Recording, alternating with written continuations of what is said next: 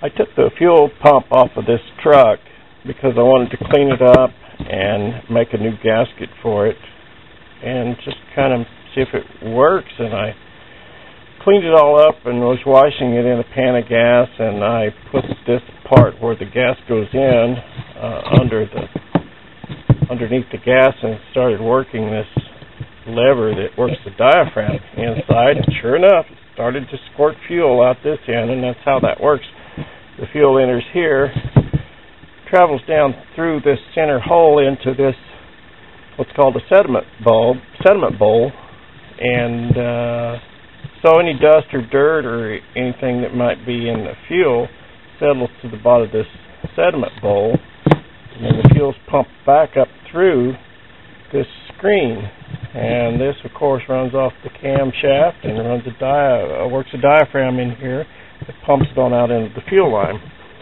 And the reason I know what that is, the first time I saw one, I guess I was seven or eight years old, and my dad bought uh, an old tractor, and it was a 9N Ford, and it had this same kind of a fuel pump on it with this sediment bowl.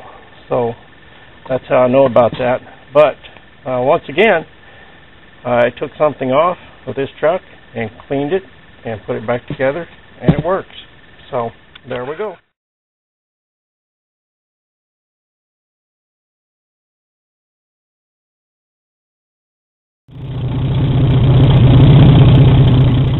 Got my gas tank cleaned up, cleaned out, and uh, new fuel line attached, and the fuel pump cleaned up and reinstalled, line attached to it and it cranks and it runs.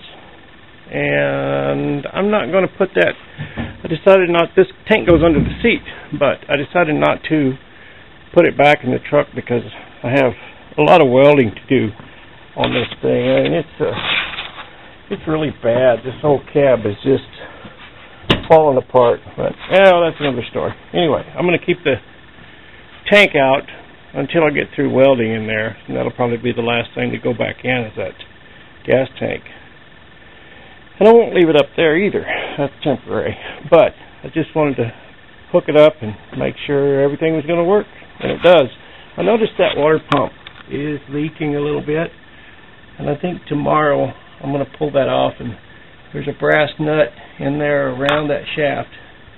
And I'm betting that there's some packing in behind that nut. I'm going to find out tomorrow. Uh, either way, I know where I can get it, either a new one or a rebuilt one. So this is not going to slow us down much.